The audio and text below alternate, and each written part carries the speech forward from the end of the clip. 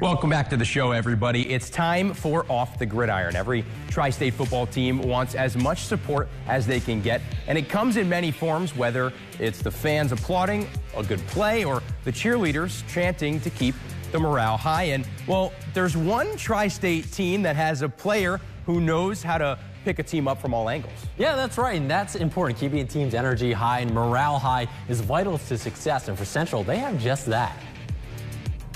When you think of cheer, you may first think of the cheerleaders at Friday Night Lights, but for Central, they have one on their football roster as well.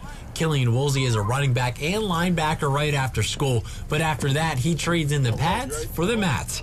And if you're wondering why he's became so enthralled with the sport, it's simple. Um, I wanted to do flips. I, I thought flipping was really cool. And it was the challenge of learning this sport that hooked him and it's one of the hardest sports I've gotten into, and and it was it took a lot of time for me to learn what other people are starting to learn.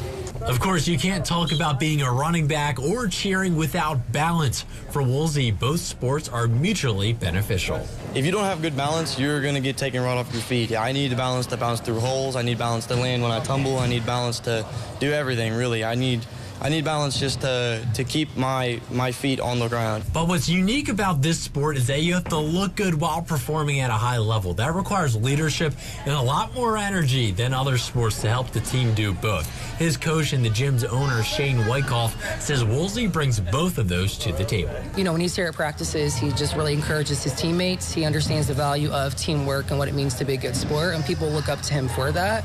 And that's what he does really well for his team, is he's able to, you know, keep a good morale the team, and the team's able to look up to him. And and luckily for the Central football program, that's the exact type of player that head coach Brandon Artis wants. And build a foundation and build a culture of identity where we will not quit. We're going to do whatever it takes. And you're going to lose some guys around along the way. And on the gridiron, he supports his team while on the roster. But come basketball season, he's still cheering some of his teammates on, just not on the playing surface. The main difference between that and their competitions is showing support for another sport versus competing in their own.